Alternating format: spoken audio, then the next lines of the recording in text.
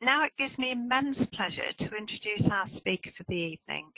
Jan Dubiel is a lifelong early years specialist. He started his career as a nursery and reception teacher. He was an early years consultant and advisor before moving on to early excellence, where he became head of national and international development. In 2018, he was on the Times Educational Supplement's 10 most influential people in the world of education. What his biography doesn't say, though, is that Jan has an aunt who married someone from Jersey, and as a child he was very impressed that she had a hole in her back garden hedge that led directly to the beach. What a disappointment then it was that as a seven-year-old he discovered that she was moving to Portsmouth. So I leave you there and welcome Jan. I'm going to get my camera off now and leave you for the next hour or so. Thank you. Thank you. Um, thank you very much for that introduction. I did a little anecdote um, in the sort of rehearsal this morning, and um, I'm, I'm, glad it's made its way into introduction.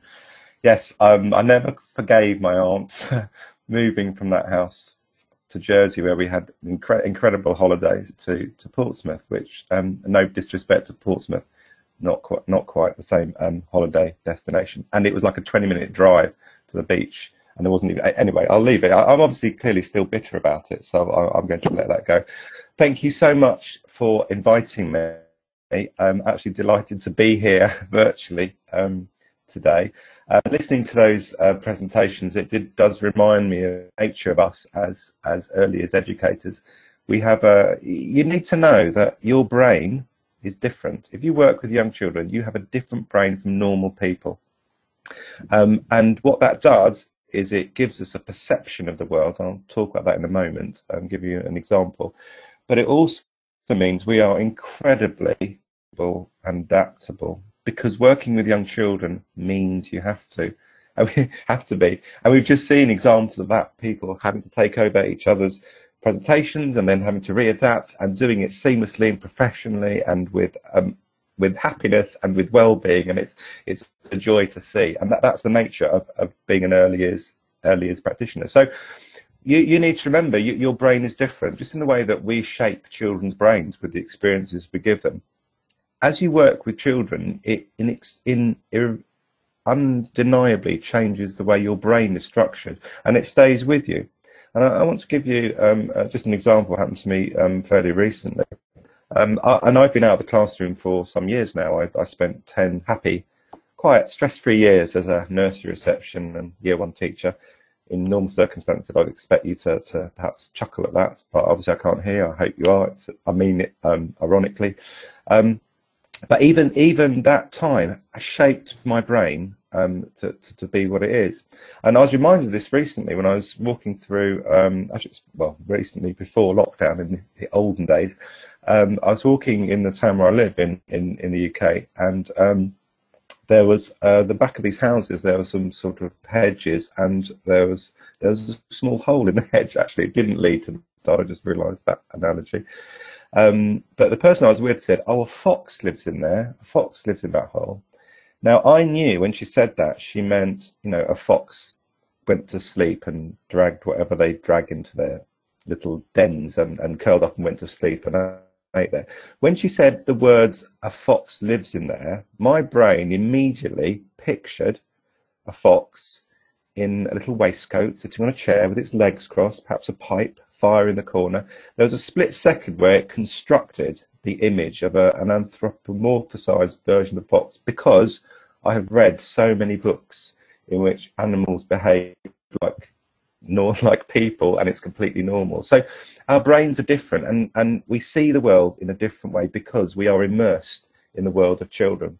And because the world of children the world of earliest children is so demanding and so surreal and so um, unique it does shape the way we th- see things but it gives us strength and it gives us superpowers as well as as as as you know we, have just seen.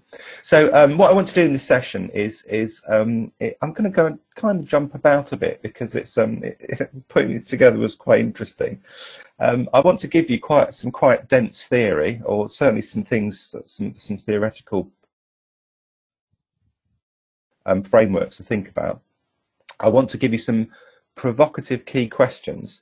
And again, if we were doing this in the olden days when I would be in a room with you and we wouldn't necessarily be two meters apart, I would stop at that point and give you chance to sort of process and talk about those questions. And that I've, I've learned the hard way that doesn't really work uh, in in virtual um, in virtual training. So they're, they're, things you're going to have to take away with you and, and ponder at your own time.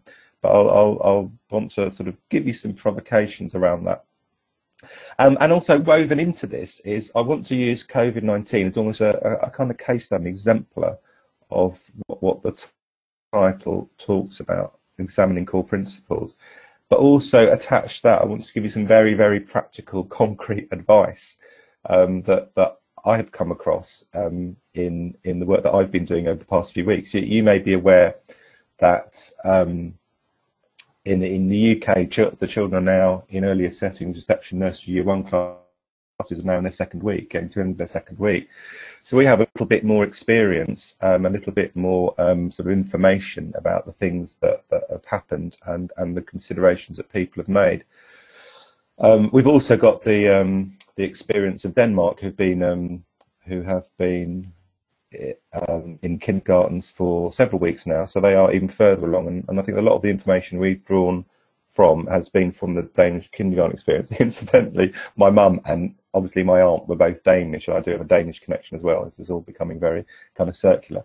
So I want to do several all those things together and and challenge you, inform you, give you things to think about, um, reassure you, hopefully, um, also give you some some advice from the benefit of having gone through children coming back. We we call it retransitioning. You're calling it response and recovery, which actually I, I really like, um, and how it touches on some of those core principles. So it's uh, it's a, a, kind of quite eclectic mix of um, of things. So um, one of the things that, that, that, I think I said in the in the blurb to this is um, situations like this, like COVID-19 and the, the challenges it poses, gives us an opportunity to view what we do through a very different lens. Um, as early as educators, we, we are used to going out of our comfort zone. We are used to thinking creatively. And what this has done has enabled us to do that. And sometimes when you strip back the sort of routine and the habitual process of what you do, you, you find very interesting views of, of your own practice. And those things are always really, really good. We should always be examining our own practice, and I'll, I'll come to that in a minute. So I want to give you a construction. How do, how do we view what we do? As early as practitioners, you have round about a thousand interactions every single day in normal circumstances. That, so that means if you've been working for children with children for three or years or so, you've had over a million interactions with children that is an incredible um, evidence base, an incredible well of experience to draw from. And we take tens, thousands of decisions every single day. We are constantly making decisions about what to do, what to say, whether to intervene, whether not to intervene, and so on. And, I want to start off really by examining a little bit some of the background to how that process works. So if I could have the next slide, which should be blank. And it is. Um, so when we start, when we make decisions, when we consider the automatic decisions that we are constantly making, and remember you're doing this subconsciously as, as a practitioner, where do we start? We start with the next click. We start with values, and I'll talk about that in a minute. We have a set of core values, both as as people, as as adults, um, but specifically as educators. And again, in, in the olden days, what we might do at this point is look, get you to examine what, what are your values? What are the things that you think are important? Is that you want to achieve with children? So your values are core to it. Next click. And values shape our beliefs. Beliefs and values are different. Your values very rarely change. They are core values you develop in early adulthood, but your beliefs do change. And for me, struck me actually earlier today that um, um, years ago at this moment, I was doing my final placement as my PGCE in um, in England. It was the of Italia 90. I don't remember that. Maybe you remember that. And I was just about to embark on a, my teaching career. So I've been uh, 30 years as an early years specialist, as a teacher, and in all the other roles that, that, that have been explored already today. In that time, my beliefs have changed quite substantially and should do. Because when you read, when you attend sessions like this, when you watch children, when you talk to other um, other adults, when you ponder things on the way back from, from work, when you wake up in the night thinking, why did that hang on, why did that happen? All those things alter your belief system. So your beliefs are the vehicles by which you deliver your values. And we should always be open to changing those. One of the things I worry about sometimes in early years, we have a very strong tradition uh, across the globe, and particularly sort of in the West and um, and in the UK and, and its associated um, places, we have very strong traditions, and sometimes those traditions spill into becoming um, folklore, and folklore becomes orthodoxy. And sometimes we have these things that we do, and we don't really know why. So, actually examining how do your beliefs deliver your values is an important process. Next click shows where that ends. So that ends up in the actions that you take. You know, you take thousands of decisions every day. An early years educator, a thousand interactions, which spawns probably several thousand, several thousand actions as a result. All of these emanate from values and should do. They emanate from values as an educator, and that's what drives your beliefs and ultimately your actions. And I'll come on to that in a slide in a minute. So the next slide, so next click, is the evidence that informs it. In between your values and your beliefs is evidence. Um, highly contested, highly controversial, highly selective. You are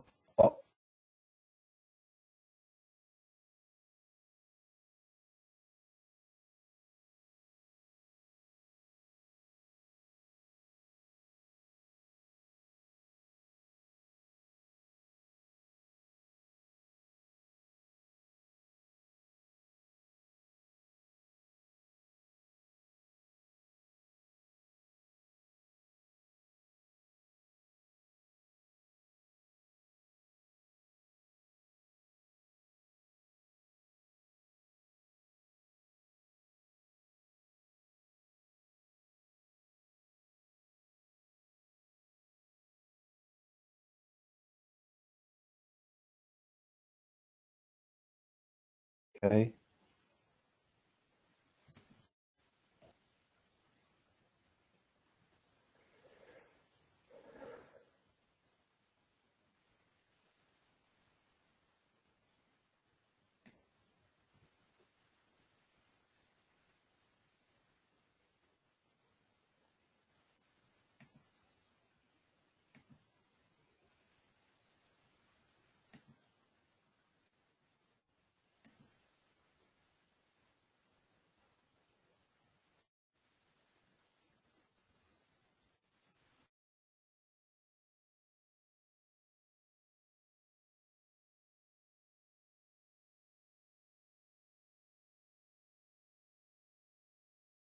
Just popping back in because I'm aware that um, we seem to have lost sound. I think we've also lost Jan's webcam. Ah, fabulous. Jan, we seem to have lost oh. sound. Oh. Are we back? Can you hear me? I can now. Yes, I'm Okay. Okay. Okay, thank you. Okay. Um, so um, the next click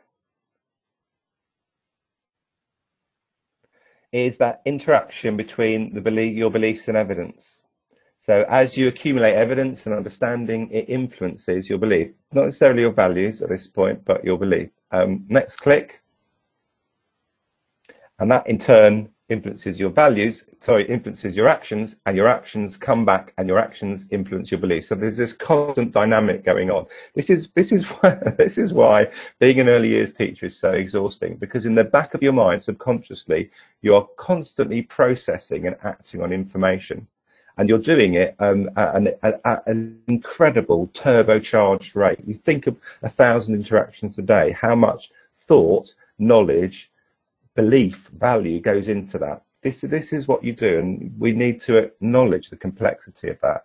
It's not the same as other forms of teaching. It's unique to, to early years.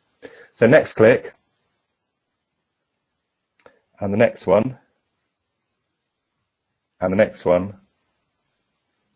And the next one. So that's the process. That central core is how we work as practitioners.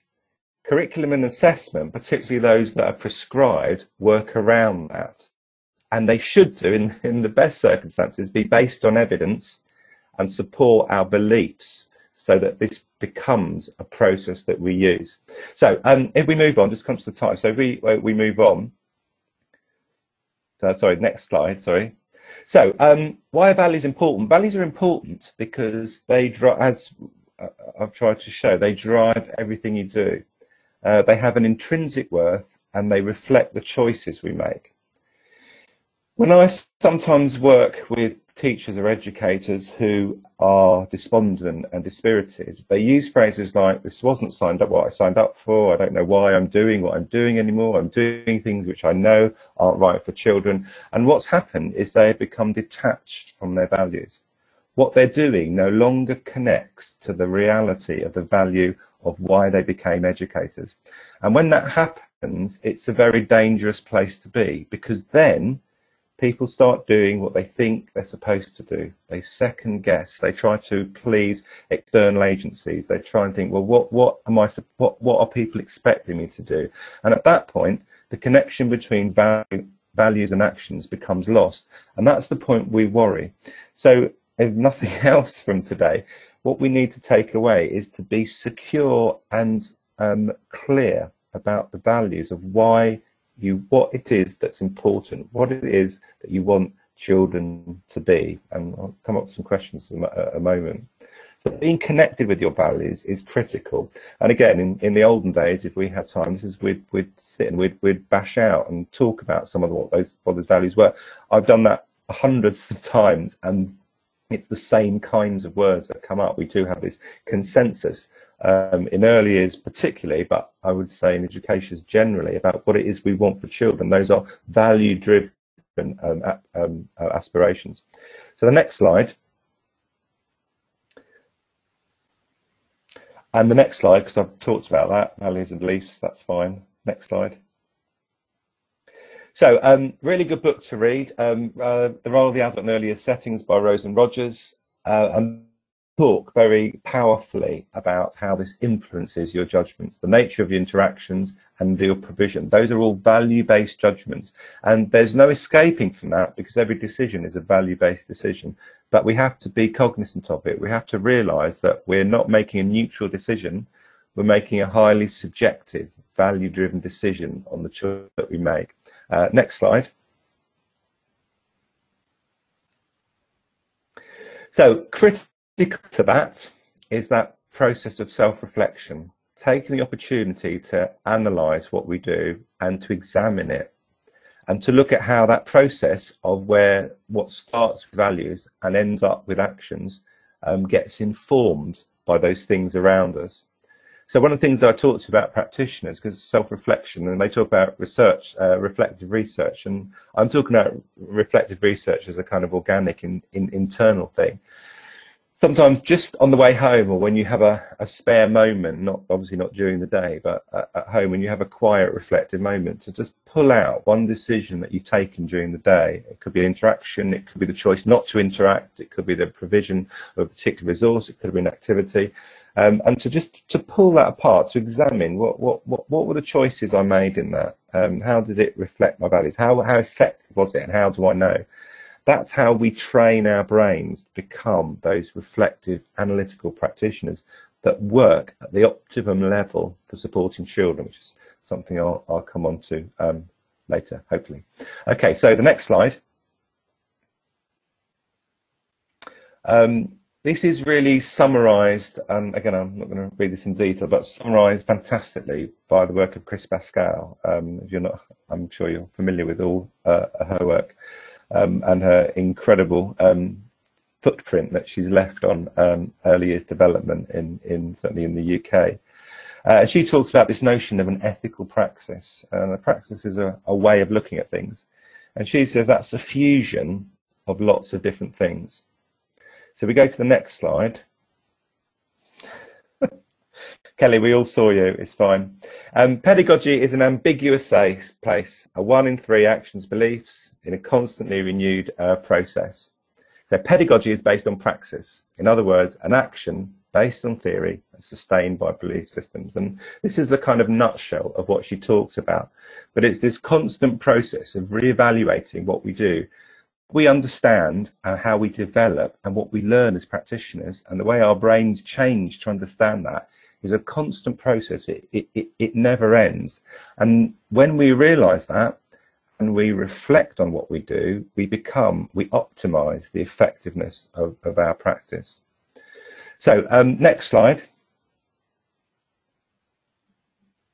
Um, that's just a quote from a book I wrote a few years ago, which is about the, how the locus of power exists with you as a, as a as a as the educator. I might come back to that later. Let's uh, let's do the next slide. So here here are my first uh, set of questions. So again, we're not going to uh, going to stop and discuss them virtually, but they, these are things to sort of take back with you. Um, so key, key questions: What what do we mean by learning? What's the purpose of that? What do we mean by learning? Huge debates at the moment about the role of memory, the role of um, working memory, about what actually constitutes learning. Is learning just about change in long-term memory, which is one of the definitions that's becoming part of the dominant narrative, is learning, knowing to do something subconsciously, or do you consciously have to recall it from your memory and so on? That those are big questions. So that that's a, a we use the word learning all the time, but what what do we mean by it? Is it just the accumulation of facts or is it the application of them? You know, Roger Säljö's work on deep and surface level learning is, again, something we, we, we might factor into that. Um, and this idea of content, what we are increasingly, or have always described as the stuff that children need to learn. What what does that need to consist of? Um, and you know, we, we've touched on the the situation that we're in at the moment, how COVID nineteen has completely changed a lot of things. Hopefully in the short term, but there will be long term impact. And one thing it has done is remind us that the world is a really unpredictable place. What, what we have had to do over the past few months is to change the way we are, to jettison things we take for granted, and to act and to be and to, to live in a very, very different way. And that's a really good metaphor for, for the world that we are sending our children into. The children who you work with now are going into a world which will be as unpredictable as, as, as you know, the impact of, of COVID uh, Sir Ken Robinson talks about how we are preparing children for jobs that don't exist, for to solve problems we don't even know are problems yet. So, um, in the context of that, what kind of curriculum do children need to know? Do children need to, to, to be aware of? And finally, the process. How how do we know that that's what we do and the vehicle by which children access whatever the content we believe to be? How do we know that's successful? Um, how do we know? How, how are we adaptable and agile enough in our pedagogy to, to make sure that that happens? What, what, what is the process? Um, previously, previously to COVID, I did a lot of work in China. And there's a Chinese proverb I often use, which is, there are many paths to the top of the mountain, but the view is always the same. And for me, that's a really good um, metaphor for early years practice. The view is curriculum. That's where we want children to be the path of how they get there might be substantially different and highly individual to that child. So um, the next next slide. So this gives us a good um, hook into the purpose, the purpose of early childhood education. So these are our, if you like, these are the, the cornerstones of our key principles. We develop principles as educators. They are connected to our values and our beliefs, uh, I've touched on. um, but they're there to answer very specific questions. So we talk about learning, and I've touched on that, and we talk about successful learning. But what what do we mean by that? What is a successful learner in early childhood education? Is it just getting particular early learning goals, or is there something much broader and deeper and more expansive than that, which we consider to be a success? Just because something isn't measured or measurable doesn't mean it's not important. And actually, I would contend that much of what we do in early childhood isn't measured in a conventional way because it can't be. But that doesn't mean it's not part of that recipe or that cocktail of success that we look for. So again, th these are these are really good discursive questions uh, about you know what we mean by a successful learner. How do we define that? How do we know when children leave our setting and transfer transition to whatever the next phase is? and you know we close the door on that final time in the summer term typically well how do we know whether we've done the, a good job. What, what is it we look for? What is it we celebrate in that? Because that is what we define uh, define a successful learner. And the components of that again are, are quite similar. What do we want children to know? What is the content they need in order to be successful? Um, how do they use that? How do they utilize that? Which again i think we're we're is embedded into good early years um, practice. And also, how do we want children to be? It's not just about what children know, it's about how they conduct themselves as individuals, as citizens. You know, and we use words like honesty and integrity and, and so on. That the future of civilization, the future of all nations, is built on what happens to children today. Those in 30 years' time, 40 years' time, when they're at their peak, um, will be the, the, the, individuals that their families and us have shaped. So, what, what are the qualities in that that we think are really important? So, part of the curriculum, part of what we want for children, isn't just about um, concrete knowledge and academic and cognitive knowledge. It's about those what sometimes I think inaccurately called non-cognitive skills, but they're about the qualities of the person that holds that information.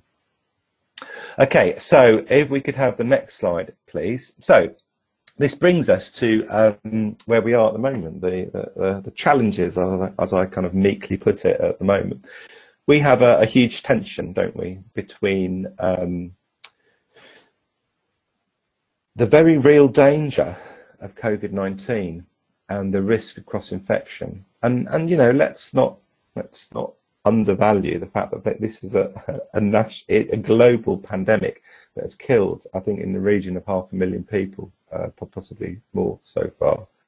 Um, that has rendered the economy completely um, you know, destroyed for, for, for the time being, which has cut a deep swathe into into to everyday life. Everyone is is really affected by it. I'm really old and I've never lived through anything like this. This has completely challenged my perception of myself, of how to be, of the things, as I said, jettison things that we took for granted. So we are talking about um, response and recovery. We are talking about children returning to settings, but there is a tension there because um, we need to keep children safe. So that is a big dimension, a specific lens through which we're going to have to view practice and pedagogy. And as I said, it's, it's almost a case study for looking at core values. Because on the other side, we know that children in lockdown, children being separated from uh, peers, from everyday life, from routine, in some cases from structure, in some cases being separated from safety, we know that that has ha- is is that is and will have and is having a dramatic impact on those children's emotional long-term health and development. We also know that children are growing up now in a context which is not normal. We are, they are picking up messages about connect, contact with other people, about being too close to other people, um, things which several months ago we, we wouldn't have considered in the same way. So we have, um, and this is particularly relevant for early childhood, because older children will have had been round the block a few times and they'll have other experiences to draw from. Very young children uh, of nursery age, pre-nursery age, reception age, they are just starting their understanding of the world and their understanding of, of schooling and the enculturation of schooling. So actually that has been critically and um, acutely disrupted. So there is some real tensions in um, in what COVID-19 has brought us. But within that, as I said, it gives us the opportunity to really examine um, key principles. If we move on to the next slide. Um, let's do the next one. Um, uh, to the next one.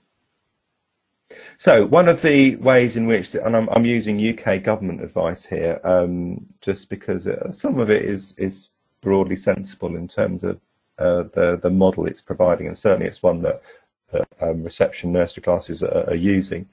So it talks about the importance of the ratios and the creation, as we've heard already, of this idea of bubble, a small isolated group that is does not socially distance from itself, but socially distances from other children. So the idea of the bubble is that that is quite um, strictly observed, quite draconianly observed, and those children have no contact with other people.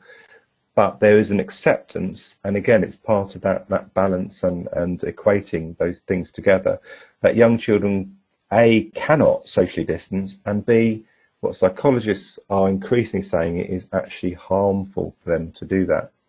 If we start teaching them not to have contact, to, to, to constantly be two meters away from every other person, that is going to have a long-term impact on their emotional social welfare. So the idea is that we create these bubbles which are self-sustaining, that they create a degree of normality for those children, but they they reconcile that challenge of safety. Um, and one of the things, and I, I, might come back to this, is I think at the moment, when children do go back in into in September, um, we, we have a duty to, to, to teach them and to support them in understanding that this isn't normal. Um, we are in an extreme situation. Most predictions are that this will start tailing off eventually. Um, but until there's a vaccine for COVID-19, it is going to be with us. So there will always be this tension of how do we reconcile children's safety with um, with with providing them with the curriculum. Um, so we need to teach them that it's not normal. Also, we need to teach them that it will change and it better. And as things um, reduce, as things get loosened, we can show children that actually there's a, a hopeful journey to get back to what is more typical, although what the new norm will be, we're, we're, we're unclear. Okay, so um, next slide. So this brings us to the core of what we do. If values, beliefs and actions are the core of the decisions we take, how that's um, enshrouded is in between the interrelation between curriculum, assessment and pedagogy. Um, and again, what's been very interesting with COVID-19 is this gives us a different lens to view these. And because the requirements and the challenges are so acute and so specific, actually it gives us um, a really good opportunity to look at what we mean by curriculum, what we mean by assessment, and what particularly what we mean by pedagogy in situations which are highly, highly unique. And let's be clear, the cohort that starts back, whenever this happens, in, in possibly in this term, which is happening in, excuse me, in the UK, more likely in September, which is uh, more, more typical globally, that is going to be an atypical cohort. It won't be long cohort, even if you're a very experienced teacher, that you've ever taught before. They will all have experienced a degree of trauma. Their, their routines will have been disrupted. Um, they will be living in a radically different world, which will remain different for a period of time. And my, my hypothesis is we will have an, uh, the 2021 academic year will be a very unique year. And I think by the end of it, by the time we get to June, July 2021, I think the degree of normality will, I think, unless we have a second spike and we can't predict any of these things, but as things are, we'll, we will be start to return to something we recognize more, more as normal. But until then, we have to be really reflective and adaptive. And as I said, agile in, in how, how that works. So if we look at curriculum, which is the next slide, So what is curriculum? Curriculum is what needs to be learned. Curriculum is in essence dull, dry and quite boring. It's just objectives of this is the stuff that children need to need to learn. My colleague Beth Harris from Red Panda says, role the earliest teacher is to teach children what they need to know. Our, if we distill down our job to its kind of basic level, our job as educators is to deliver the curriculum. And I know even saying the words, that sounds really, really dull. It isn't because of what we do, but that is our job. Our job is to take children to the top of the mountain and show them the view, the curriculum, the outcomes that we want for children. So that's the nature of curriculum. We go to the next slide. Um, really good document which was produced um, just towards the end of last year, um, getting it right in the earliest foundation stage. This was a, a, summary and Chris Pascal was involved in it, so you know it's going to be quality. It was a summary of all the evidence of the last 10 years of what we know matters to young children. And the purpose of this was to try and inform the review of the ELGs, uh, whether the, the, the, government took it on or not is, is, is, is still the jury's still out, I think, as we, we wait for a response. But what it did was identify the things that really matter. And, you know, if you, if you look on the left-hand side of that pane, those, those are the kinds of things which incontrovertibly were identified through longitudinal studies, comparative studies, looking at neuroscience, um, looking at uh, the impact of different kinds of pedagogies and so on. Uh, and particularly looking at the long-term um, longitudinal outcomes of, of children. So the role of language, role of PSED, physical development, which you, know, you recognise as the prime areas in the EYFS, the core of what happens, but also things like executive, um, executive function, sorry, self-regulation, executive functioning, metacognition, inhibitory control. These are all the things that, if they are present, as children transfer from the EYFS into uh, to, to, to year one into the national curriculum, children are likely to be successful. If they are not present, what research and evidence tells us is children are less likely to be successful going forward. So when we think about curriculum, what is it children need to be learn, need to learn? Those are the things which research and evidence tell us need to be a core part of it. So park that for a moment, bear that in mind because we'll move on in a minute. We might come back to that. So the next slide Uh, Lilian Katz, American, um, famous American uh, educator, she talks about the difference in curriculum between academic and intellectual goals.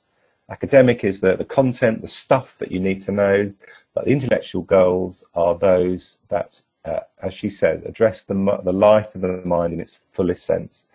Um, and the next slide, we can go to that one, is how she defines curriculum. Appropriate curriculum is that seeks mastery of basic skills in the service of their intellectual pursuits. And it goes back to one of those questions what, what is the purpose? How do we want children to be? Well, we want children who can not just acquire information, but we want children who can utilize that information. And actually, one of the things COVID has taught us is that the unpredictability of the world means we are going to need to think and, and use information very, very differently. So part of our responsibility is to deliver curriculum that's not just knowledge. Of course, knowledge is important and you can't do anything without it, but how you utilize knowledge, because that is a learned behavior. You learn how to make connections. You learn how to transfer information. This is all part of uh, what, what is described as executive functioning. So that's part of our responsibility in curriculum. The, um, if we can go to the next slide. This gives us the challenge of what COVID-19 and the return post-lockdown actually requires us to do. So if curriculum is all the things that we've talked about, but it's about what we want children to know, then the curriculum we need for children returning to nursery reception classes has to be based on what is really important for them. So I would say, given the challenges of COVID, given the challenges of lockdown, we certainly need a curriculum that is fundamentally driven by understanding the importance of health and hygiene. We have a responsibility to do that for children. That has to be a fundamental part of the curriculum. But also, and we've touched on this already, emotion, well-being and emotional literacy, the, these children will be traumatized to a greater or lesser degree. You, you talked already about the Leuven scales, which I would say is a, a good starting point for that. But actually, it almost goes more um, more deep, uh, more significant and, and deeper than that. Um, because we have to track those children in those first few weeks to make sure that their security is going to be embedded. And one of the things that um, has some of the testimonies from, from teachers whose children have already returned is that um, children respond to this very differently. Some of them will tell you everything immediately in the first few minutes. Other children will be very quiet and will seep out in a while, but all of them will have a story to tell. All of them will be wrestling with um, things that are different and challenging and have upset them and have affected them deeply. So we need to take that, this is meeting the needs of children, and make that centre stage to the curriculum. A curriculum that balances that, that tension that I talked about, that keeps them safe and teaches them about safety, just like we would teach them about crossing the road we are in a context now and children will know about it. Of course they will. They'll know about COVID-19. They'll know about social distancing. They'll know about self-isolation. They'll know about two weeks incubation period. They'll be remarkably knowledgeable because it's all around them to teach them how we manage that in a way that makes sense to them, but also reassures them. Because by keeping safe and by keeping hygienic, we are reducing and narrowing the risk of that. Um, the next slide Secondly, um, perhaps slightly off centre stage, but still very much in the focus, is that um, the opportunities and the importance of social development. One of the things that um, people are noticing when children are coming back is they have been out of practice with relating to peers, with negotiating, with compromising. In some cases, they've been the only child in their house. Sometimes they've had older siblings or younger siblings. But that dynamic of working with your peers is something they have lost experience of. So again, that has to be um, a really strong focus. And again, that has to be taught and shaped. Our curriculum has to embed and cradle children into um, uh, what they're going to need in order for the more, you know, obvious academic things to take place.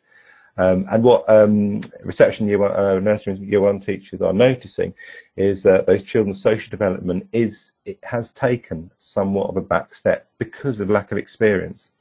What's quite interesting about language development, again, one of the prime areas is many teachers are saying children's language has come on leaps and bounds because they have had uninterrupted, unadulterated, one-to-one conversations with adults constantly throughout this process. So actually, in some cases, you might be surprised at how articulate and how confident children are in language. But what I would add to the importance of language is, again, the language of emotional literacy and the importance of talking about emotions and understanding them and being able to name them.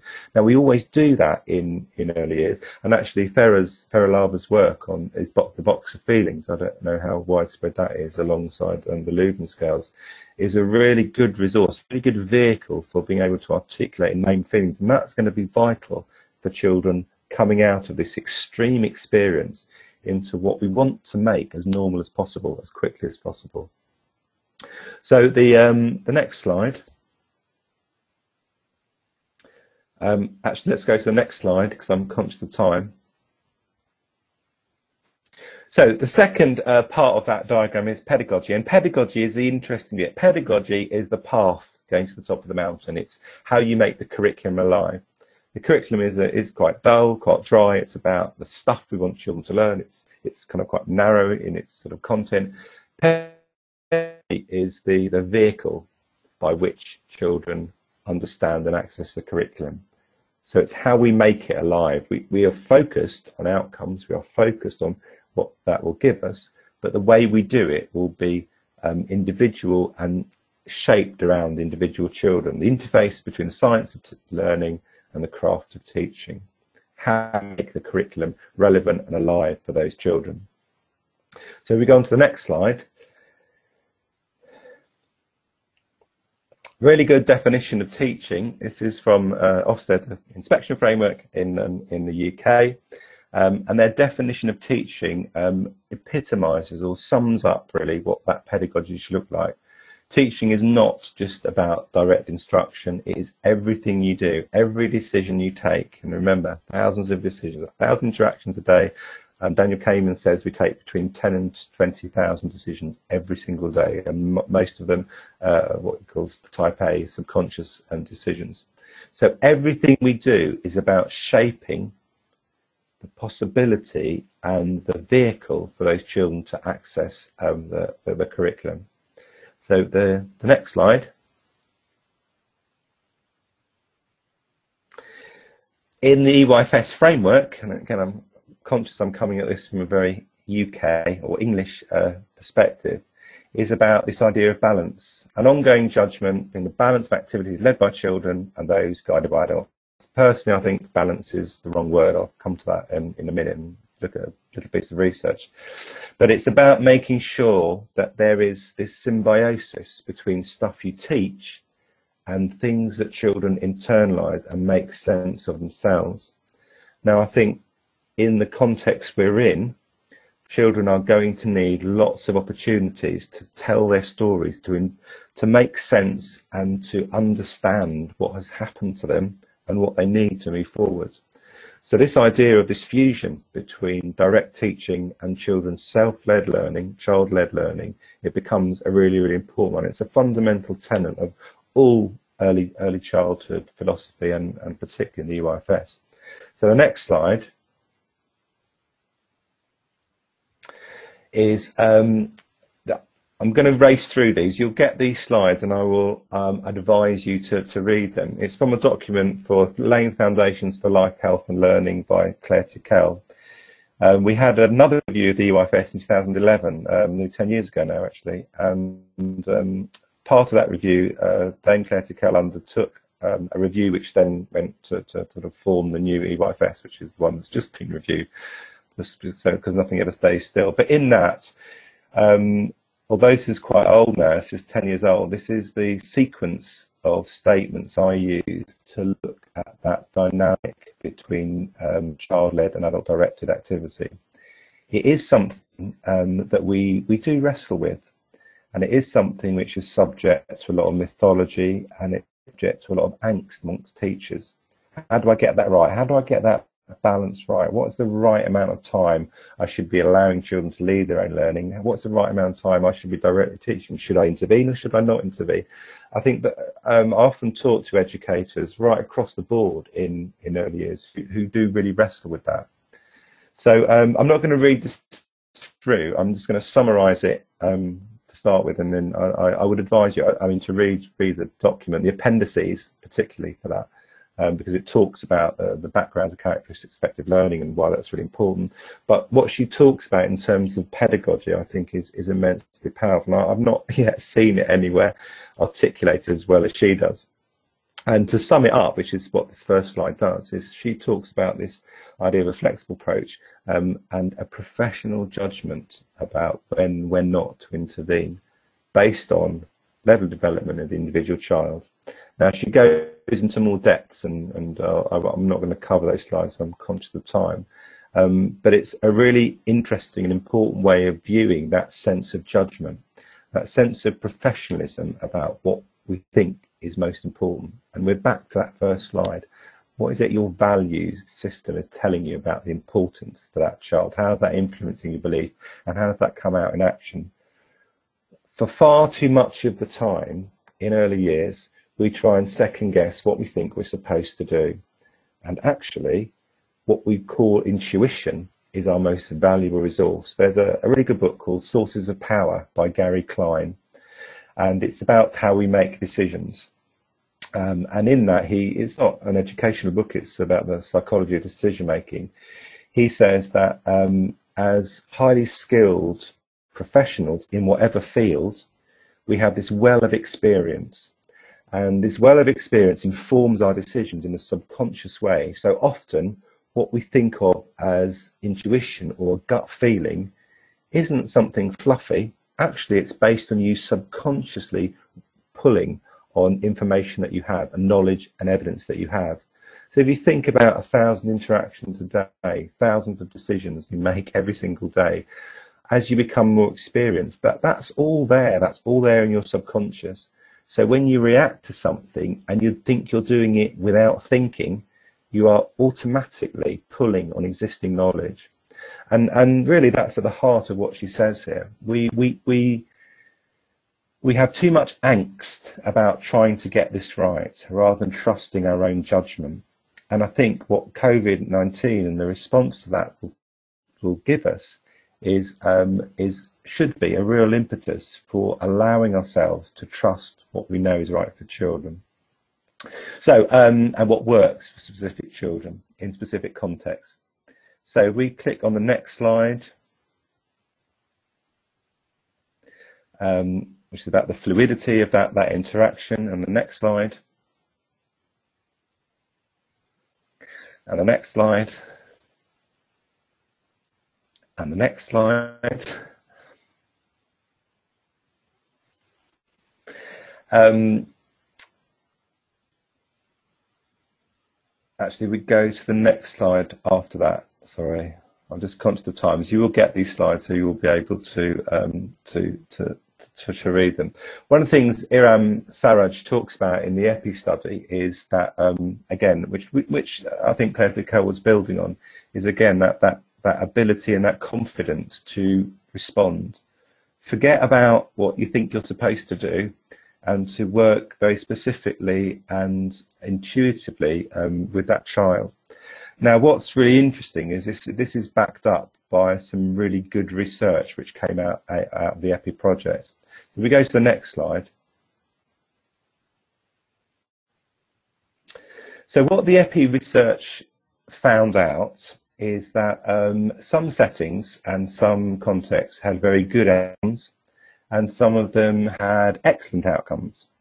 And the researchers were really interested in what, you know, what is the difference between these two kinds of, these settings, which in all other respects were very similar. I mean, you take all the variables out, there, there was, you know, a significant difference in the kind of outcomes they had for children. They weren't just academic outcomes, they were social, pro-social, and so on.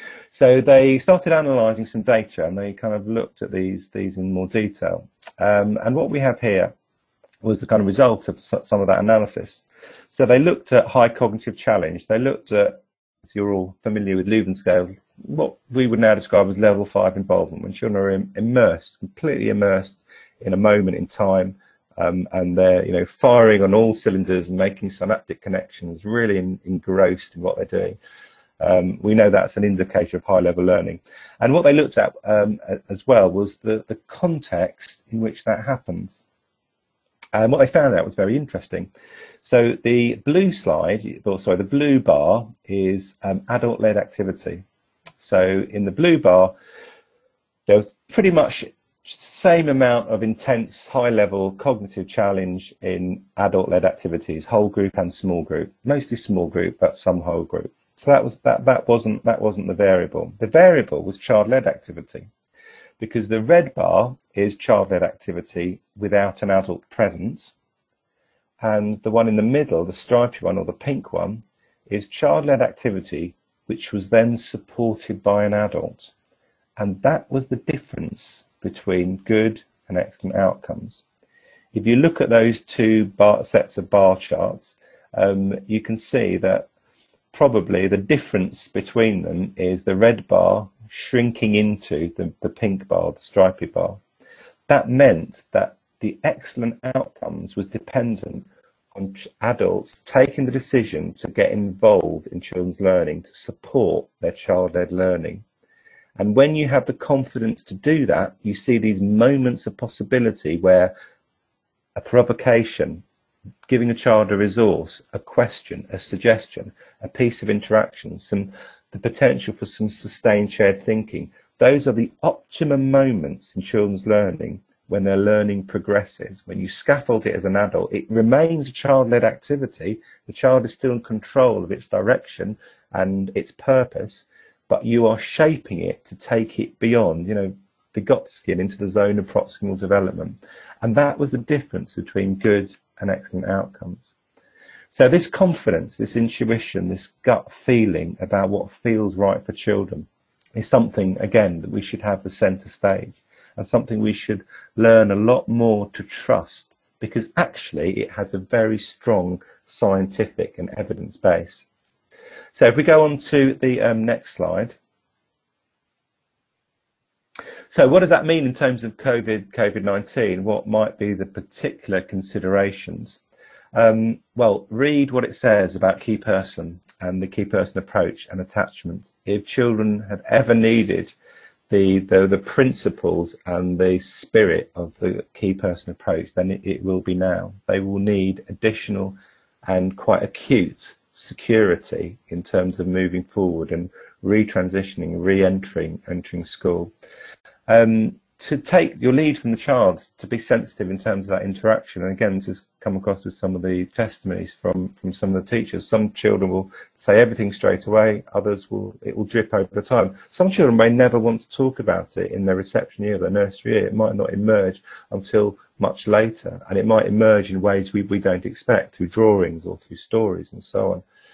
Um, to create an environment, I'll talk about that in a moment, which enables storytelling and communication um, I would argue that through storytelling, through drawing, through communicating in different ways, children will make sense of their experiences and they will be able to tell their stories, even if they don't really understand the feelings behind them, but they will be able to express that and communicate that, even if it's just to themselves. So our pedagogy has to support that opportunity for, for, for doing that. So um, obviously opportunities for uh, familiar um, typical activities. Um, I would argue we need some structure, which isn't necessarily the same as a strict timetable, but some structure, some level of predictability that children can lock into, but also opportunities for deep, child, deep, deep child-led learning, maybe supported by an adult, maybe not. But opportunities to really internalize some of those things and be able to um, express them. Um, and the, the phrase we're hearing at the moment in, in England uh, is um, uh, uh, supporting closing the gap, obviously, but also in catching up. Children need to catch up because they miss school. Now, um, we need to appropriate that phrase as quickly as possible and say actually the catching up they need to do isn't necessarily necessarily in literacy, and numeracy and academic subjects, it's actually catching up on that emotional security in order to enable that to happen. So we can go on to the next um, slide. Um, the learning environment will be critical and probably be, is one of the most fraught aspects that teachers have um, uh, sort of been wrestling with we still should have the principles of an enabling environment, an environment that enables children to make choices. Um, what I have said, and I will continue to say, is COVID-19 and coming back to school after lockdown is not an excuse to Victorianize um, early years classrooms. They do not need desks. They do not need to have desks that are two meters apart, nor do they need to have mats and they stay on the mat all day. That's just a desk in a different form. They can socialise. We are not expecting them to socially distance. And actually, if they don't have access to environment which enables them and enables them to make choices and enables them to follow their own learning, we will be doing them long-term damage. So environments will need to be stripped back. I'll come to that in a minute, but we should still have enabling environments in which children can make choices.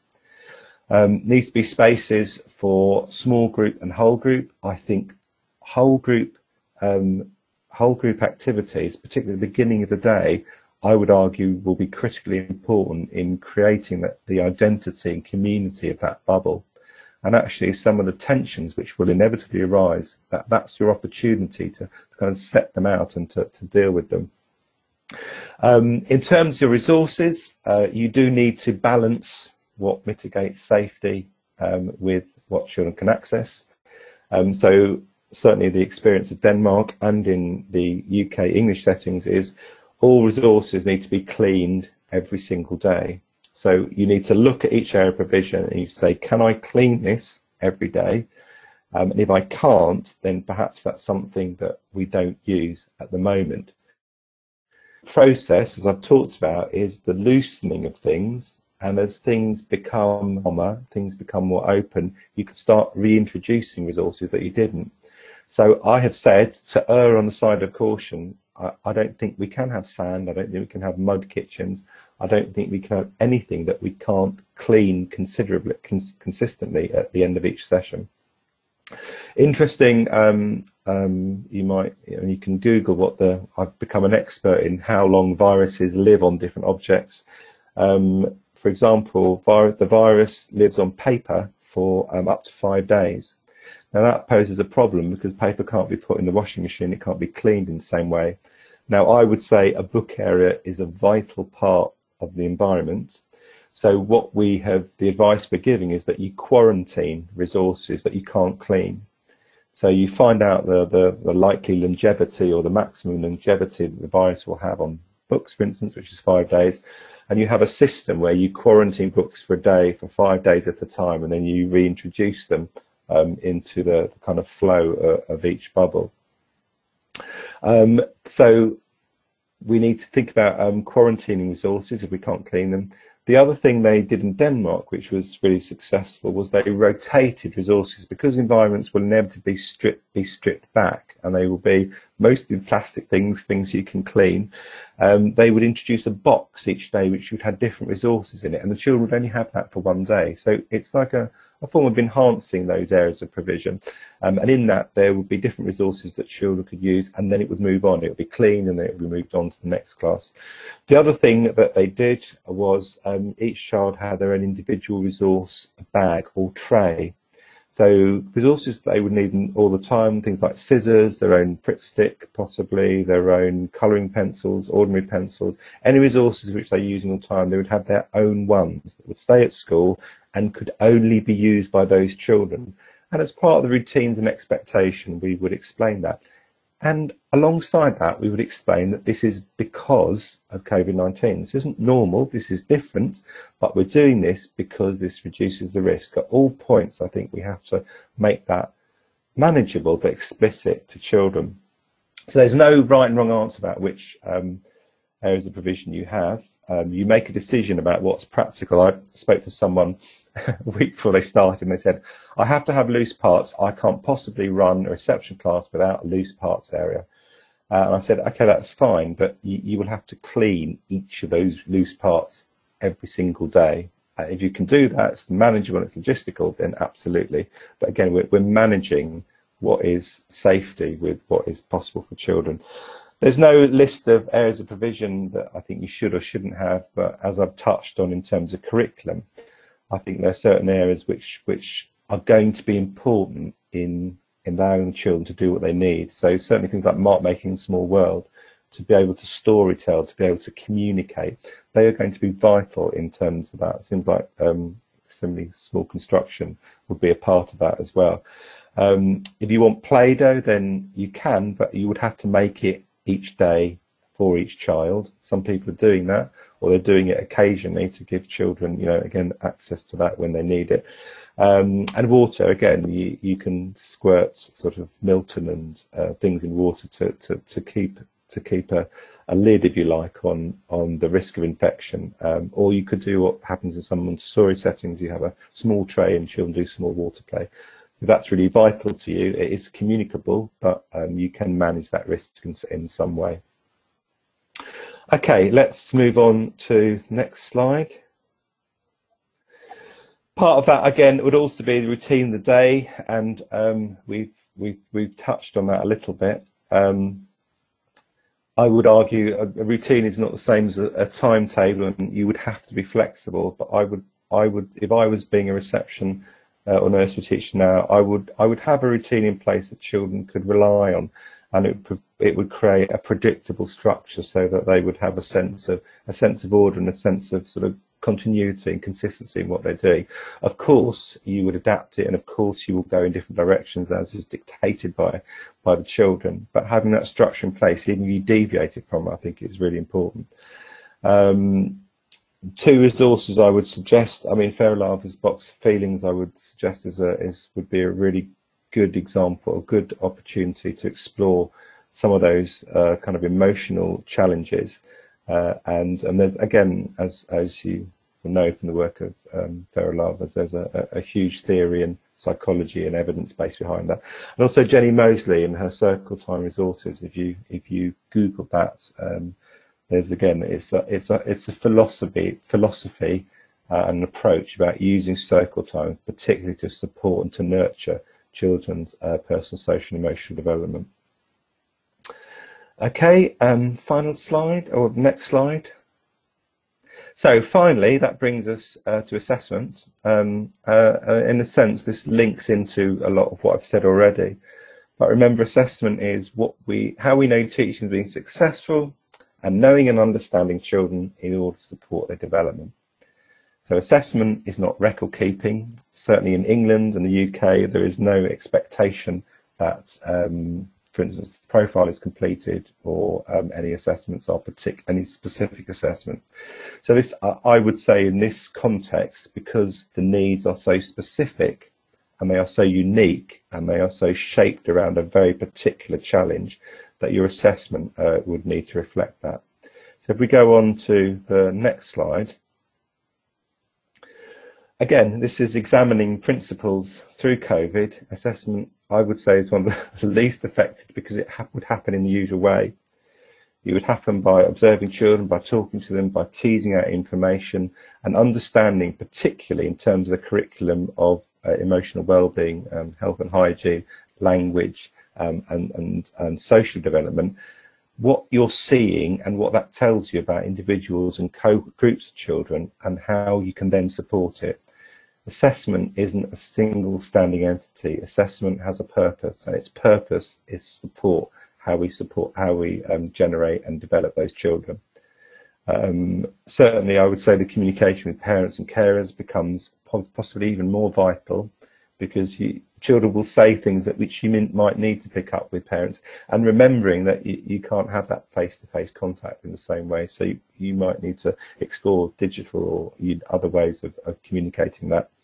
Um, record what you need to. The same principles um, exist to record what you're going to forget what's significant for each child and what helps you understand as a learner. There is no expectation.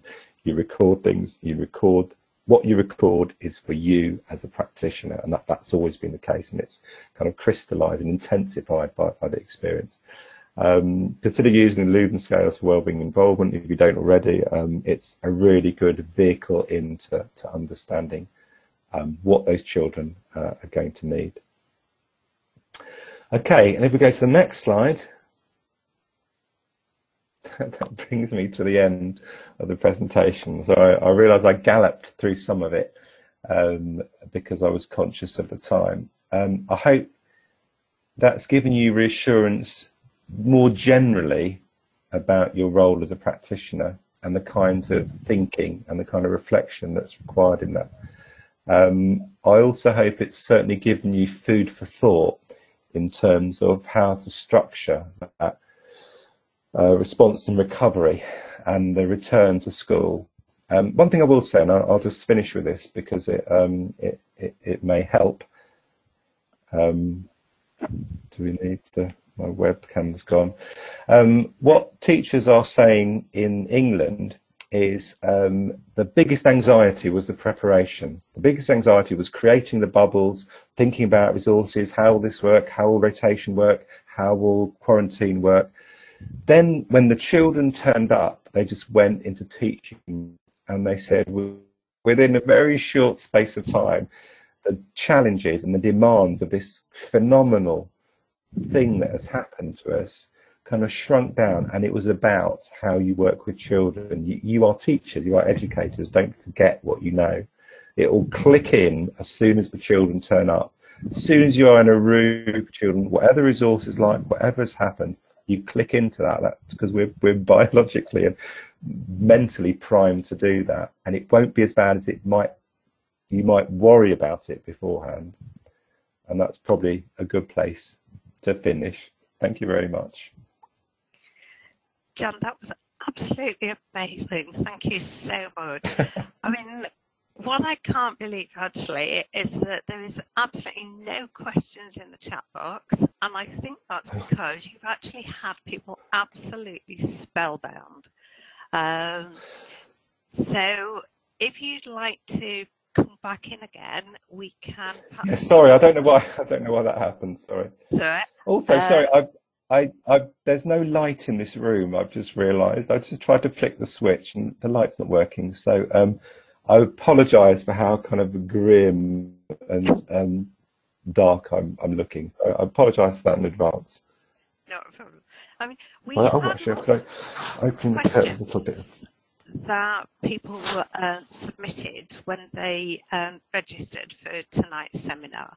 What Hmm, I think has hmm. been incredible has actually been the fact that you've responded to so many of those questions, anticipating what it was that people were going to be asking.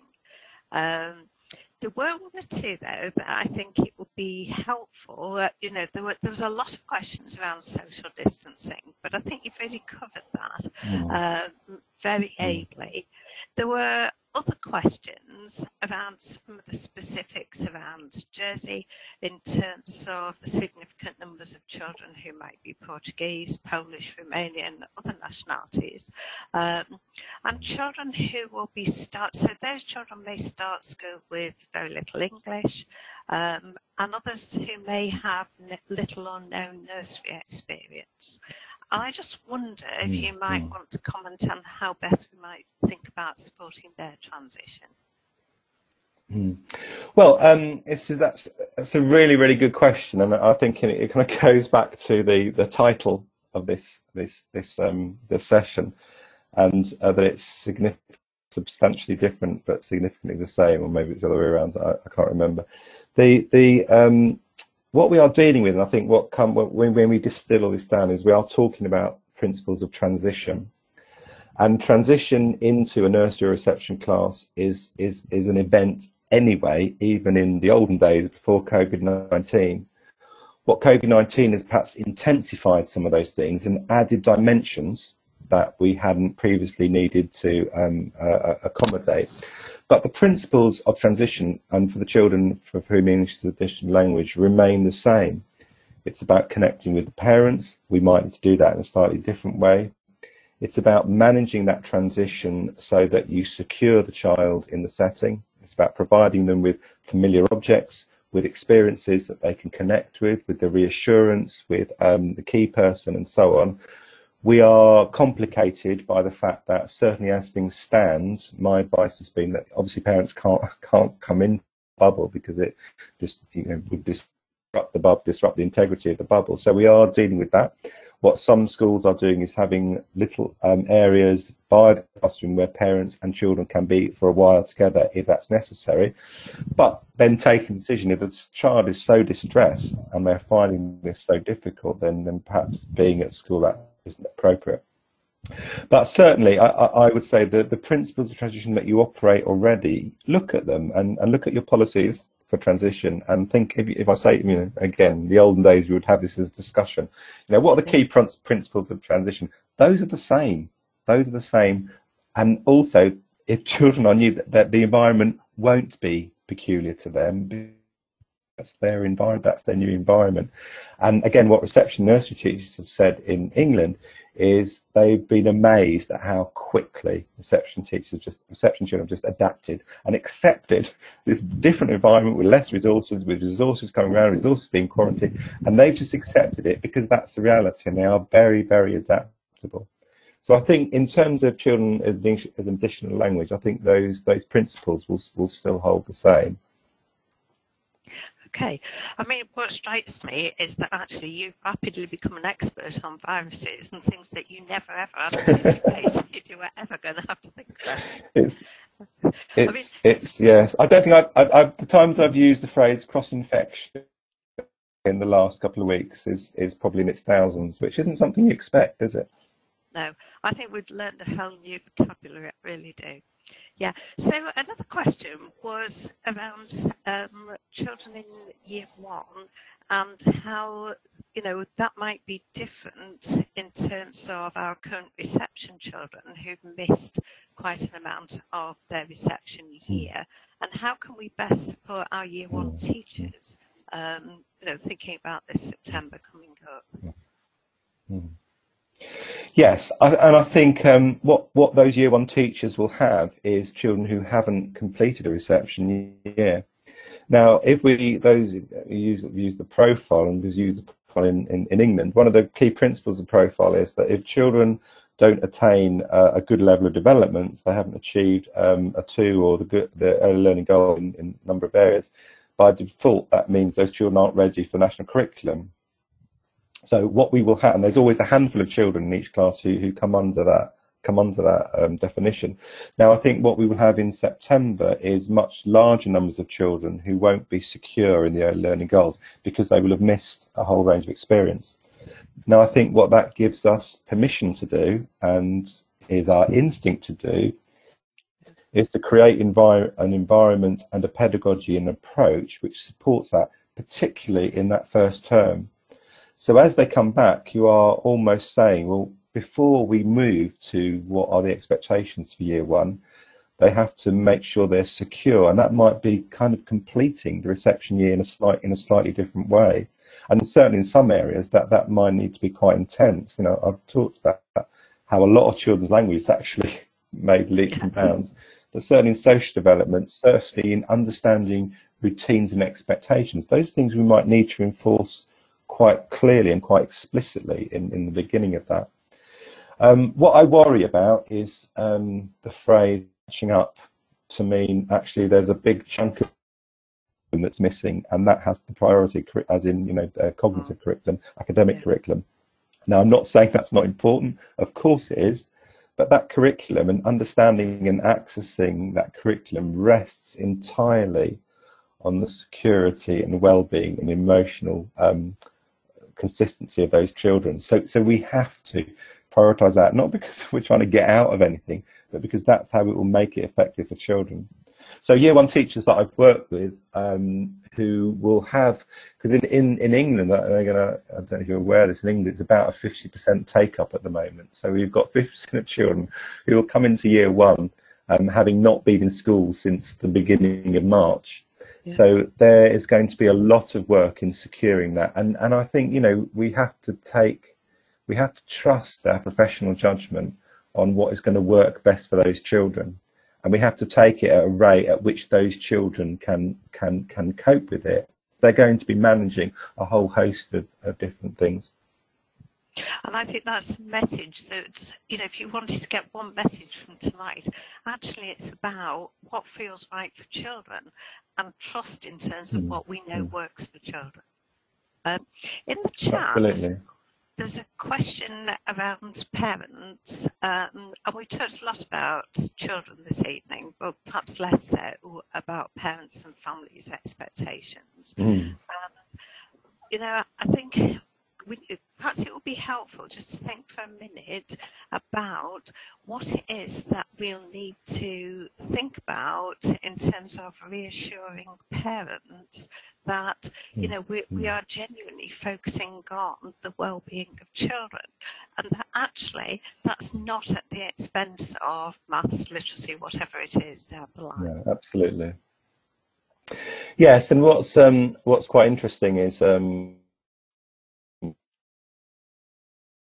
certainly the the parents who are in, I'm talking about the English context here specifically the parents who are choosing not to send their children back are doing it because they are concerned about their well-being and uh, whether it's safe for them and so on.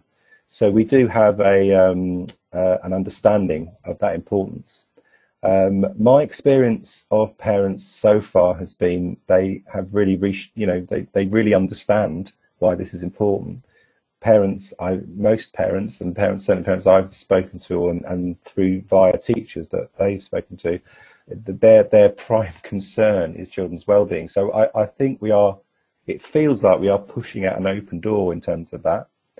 And I think if we are careful to explain to parents that this is a process, and by securing children and making sure they are emotionally um, secure in the environment and the routines and expectations of skills, we will introduce those more academic um, when it's appropriate for them.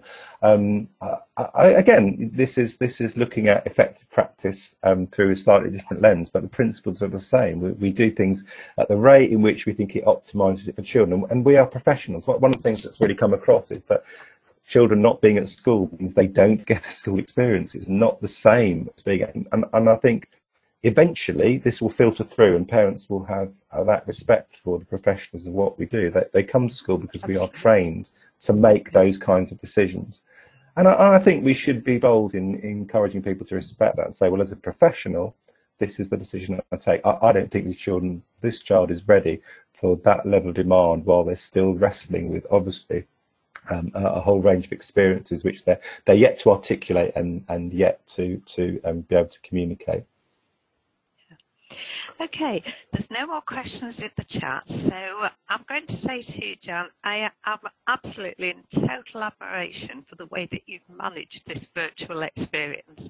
I think it's been incredible. Um, and I think you focus on doing the right thing and the engagement through a curriculum of care, in a sense, will just stick with everybody who's attended this evening. If you get an opportunity to go through the chat later, and we can certainly forward it to you, you will see the most amazing right, yes, comments yeah. in there in terms oh, of you. you. know how much people have appreciated um, this this complete journey and overview, you know, going starting from those theoretical frameworks, you know, moving right the way through to the practical advice. Um, and I think what you've done is you've shared your superpowers with us to give confidence in a sense to to early years practitioners in Jersey, in Jersey, and I think that's just amazing. Um, so I'm sure that people will want me to give you, you know, the most heartfelt thanks for a fabulous presentation. Incredibly well done. Well, that, huge thank, thank you very much. Craftsman, thank you. It's always always lovely to hear. It, it's difficult to know when you can't see your your audience. It's difficult yeah. to know what people are thinking. So, so thank you for that. I, I really do appreciate that. And and you know, I want to finish by saying, um, um, first of all, remember you are professionals, you make decisions, and the best of luck with everything that happens because um, you will do, as teachers, early as teachers always do, a fantastic job, will do that. And trust your professionalism to do that because um, that is your most that is your most valuable cognitive resource. It's informed by everything else, but it's it's how you make the world that children live in the, the way it is. And um, yeah, I salute you. Thank you. So